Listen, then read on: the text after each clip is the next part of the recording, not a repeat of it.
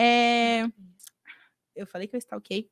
Fora a faculdade É. e fora o curso de inglês, você tem mais 20 certificados no LinkedIn. E eu nem Nossa, é. sei se você só tem aqueles ou se você tem mais. Tem mais. Eu imaginei que tivesse. Eu queria saber qual curso você mais gostou. A cara dela de preocupada com a Nossa, resposta. eu E qual lembro. você indicaria para quem você está começando? Tirando da USP, né? Tira... O da USP você indicaria? Nossa, muito bom. É o seu favorito? Não é o meu favorito.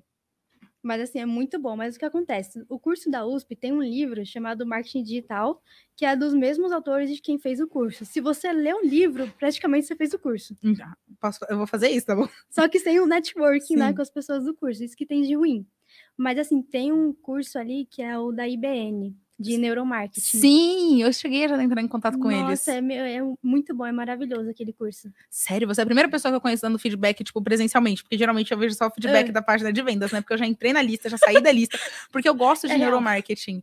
E É eu, muito inclusive, eu comecei a fazer uma pós, só que eu tranquei a pós porque a pós não tinha TCC. Aí todo mundo falou pra mim, Ariadne, você é maluca.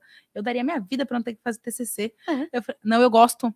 Porque, por exemplo, eu já tinha o tema do meu TCC pronto. Eu queria fazer o impacto da persuasão na mente humana. Nossa. Já tinha, nossa, eu já tinha planejado tudo de casa, sabe? De colocar metade de uma sala vendo um anúncio, metade É. vendo anúncio sem persuasão para fazer o teste se eles comprariam ou não. Então, eu tinha todo um tinha todo um projeto, sabe? Era um desejo, não era tanto pelo currículo, era mais pelo prazer mesmo de cursar.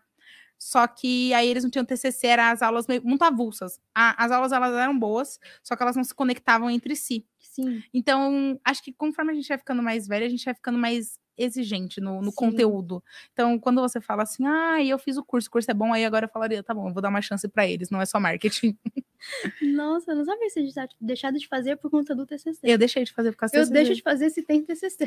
o, minhas amigas falaram isso pra mim. o- nem tanto, uma amiga minha recentemente me chamou pra escrever o TCC dela. Ah, eu te falei isso, não falei? Falou. Ela me chamou. Meu, E aí eu escolhi o tema do TCC. Nossa, eu adorei o tema. Viajei, do comecei a, trabalho remoto. é, comecei a Nossa, estru- eu o comecei a estruturar ele já no, na- no formato da BNT. Pra mim é tipo. Nossa, eu adoro trabalho acadêmico. É, as pessoas me acham um pouco loucas Não, por isso. Doideira, doideira. Então, o da USP você O recomenda. da USP, o da IBN de Neuromarketing, o Copy Camp. O Copy Camp também tá na Muito sua lista. bom. Você gostou de estudar na Conquer? Gostei, é muito bom. O curso lá é bem curtinho, é muito bom. E assim, se você não tem tempo de ver o vídeo, baixa o PDF, eu fiz isso em alguns, e lê assim, as. E vai Muito embora bom. também, dá certo. vai embora que dá certo. Beleza, fica aí a dica pessoal para quem tá pesquisando lugares para estudar e coisas do Muito tipo. bom. Fica a dica.